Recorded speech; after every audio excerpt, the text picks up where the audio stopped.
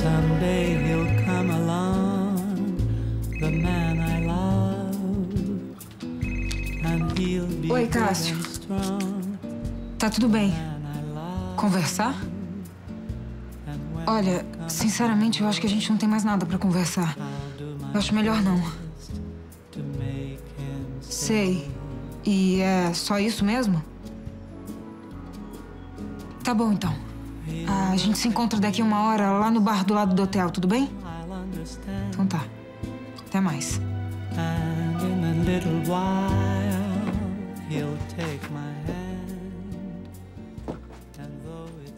Então, o que foi que o médico disse? Disse que aparentemente está tudo normal. Pediu um exame de sangue para fazer uma contagem hormonal, uma ultrassom pélvica. Nada complicado. Só depois de conversar com o doutor Márcio é que eu fui atentar para o fato de que quando o Matheus nasceu eu tinha um pouco mais de 20 anos. Que agora eu já tenho mais de 40. E daí? Qual o problema de você ter 40?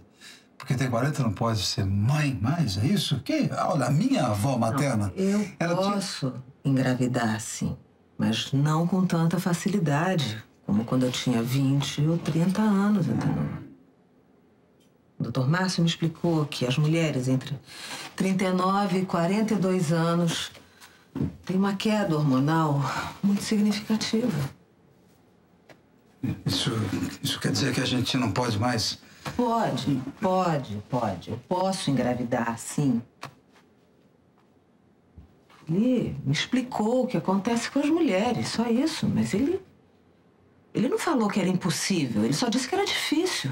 Então, isso, isso também quer dizer que você ainda pode ter filho, é isso? Posso, entendeu? Ele aconselhou que a gente encare esse problema com mais calma, sem ansiedade. Olha, eu não vou desistir de ter um filho com você. Mas ele não falou que a gente tem que desistir. Pelo contrário, ele acha que a gente tem que continuar tentando. Hum, Não falei que ele era um bom médico.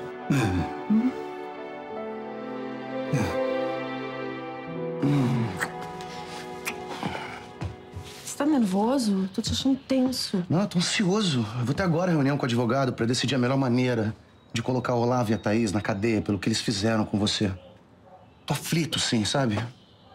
Não vejo a hora de resolver essa história desses canalhas. Oh, meu amor. E ainda encontrou tempo pra vir me ver, né? Ah, passei pra te dar um beijo.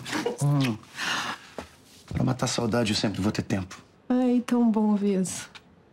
Meu amor, eu andei pensando sobre tudo que eu ouvi lá na clínica, sobre o golpe que o Olavo tá preparando contra você, sobre os papéis que a Thaís te fez assinar pra abertura de conta. Se você foi no banco e ninguém abriu conta nenhuma, com certeza alguma coisa aconteceu. Seja lá que golpe for, eu, eu preciso mesmo descobrir em que banco eles abriram essa conta no meu nome. E qual é o golpe do Olavo, afinal? Enquanto isso, acho melhor você ficar aqui mesmo, viu? Escondida. Sabe, sem se expor. Tudo cuidado a pouco com essa gente. Bom? Tá bom. Tá. cuida, se cuida.